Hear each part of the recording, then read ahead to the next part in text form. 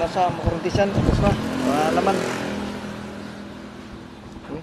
So, yun na yung mga kinanggal natin. Yan. Okay. So, yun ay 50 kb. Yan lahat yung mga laman yung tanso.